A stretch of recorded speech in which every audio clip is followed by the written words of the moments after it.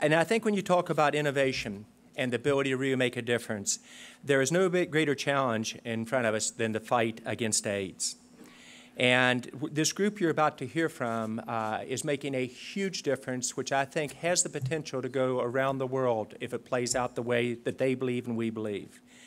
It's a breakthrough in many ways in terms of how you deal with the infection and how you begin to get countries turned around in terms of the spread of the disease.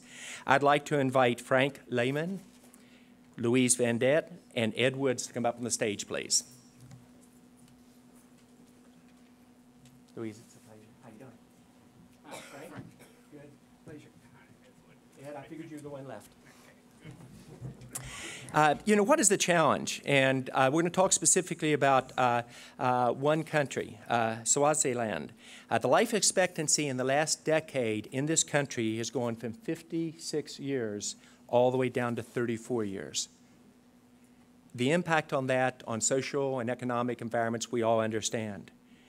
The infection in terms of the reproductive population is at 26 percent, and it's at 41% in terms of pregnant women with HIV positive. The antiretroviral treatment, ART, has had dramatic results. A number of the people on ART increased from 0.25 million in 2002 to 6.2 million in 2010. The number of new infections dropped by nearly 20% between the 1998 and the 2008 time period how they're addressing it.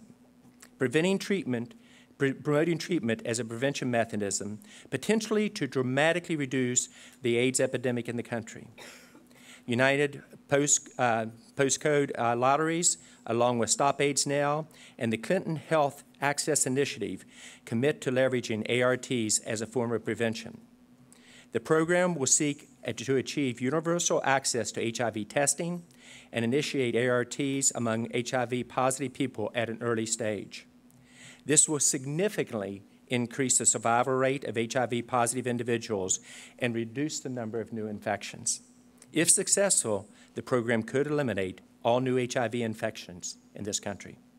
Ultimately, the program may serve as a pilot project for replication around other parts of Africa and the world we couldn't be more proud of your accomplishments, and it's something we're all very, very proud to be a part of.